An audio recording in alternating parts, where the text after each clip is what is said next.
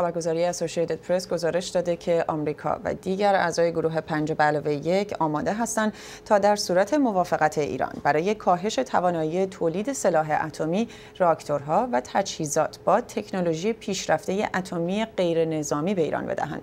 گزارش اسوسییتد پرس بر اساس پیشنویس سننده محرمانه است که این خبرگزاری به آن دست پیدا کرده است. این پیشنویس با عنوان همکاری اتمی غیر نظامی وعده داده تا تأسیسات آب سنگین عراق را به راکتورهای آب سبک تبدیل کنند. وعده تامین مطمئن سوخت هسته‌ای، پیشنهاد ساخت راکتورهای اتمی و همینطور تامین ساخت افزارهای لازم تحت مالکیت و مدیریت ایران از نکات این طرح است. با بهروز بیات کارشناس مسائل هسته‌ای در وین اتریش صحبت کردیم و از او پرسیدیم با توجه به اینکه بحث واگذاری راکتورهای هسته‌ای آب سبک به ایران ابتکار جدیدی نیست و قبلا هم در مذاکرات پیشین مطرح شده. آیا این پیشنهاد با پیشنهادهای قبلی فرقی دارد یا در امتداد همان بسته های پیشنهادی قبلی است؟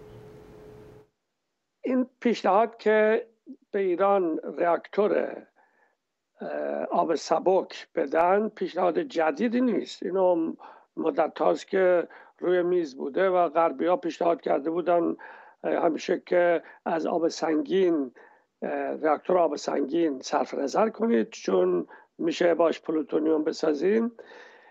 و ما حاضریم که کمک کنیم برای برپا کردن یک راکتور آب سبک خیلی مدرن.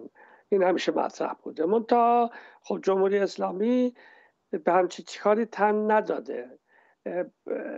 از مدت هاست که معلومه جمهوری اسلامی دو تا خط قرمز اساسی داشته و داره. ظاهرا هنوزم یکیش اینه معینی از غنی سازی رو حفظ بکنه که قبول الان پذیرفته با اینکه دیگه از برنامه اصلی غنیسازیش چیز زیادی باقی نمونده. ولی همین واقعیت که 5000 سانتریفوژ باقی مونده کفایت می‌کنه برای و اجالتا اقلا کفایت می‌کنه. و یکی دیگه هم موضوع راکتور آب سنگین که باید یا عوض بشه اصولا تکنولوژیش عوض بشه بشه آب سبا یا اینکه تغییر طراحی بشه که نتونه زیاد پلوتونیوم تولید بکنه. بله از آقای بیات همچنین پرسیدیم آیا هیچ مکانیزمی برای تضمین تحقق این مشوق ها در چارچوب مذاکرات پیش بینی شده یا نه؟ نگاه کنید به نظر من برای کشور ایران نه برای رژیم جمهوری اسلامی برای کشور ایران شاید مهمترین مشوق این می بود که اصولا از غنیسازی دست برداره.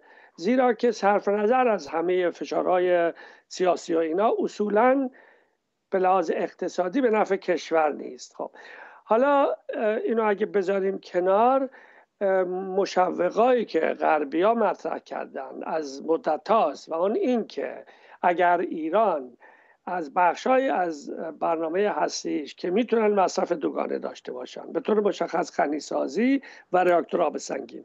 اگر از اینا صرف نظر بکنه غرب حاضره که در بخش هستی با ایران همکاری بکنه و تکنولوژی های مدرن رو در اختیار بذاره. به نظر من جای تعجبی هم نداره زیرا که تربیه ها مثلا به طور مشخص فرانسه که سازنده راکتورهای هسته هست سازنده نیروگاه هسته است علاقه داره که محصولاتش بفروشه و با توجه به کسادی بازار علاقه می داشت که همچکار بکنه. از این لحاظ به نظر من بیاعتمادی ضرورتی ندارد.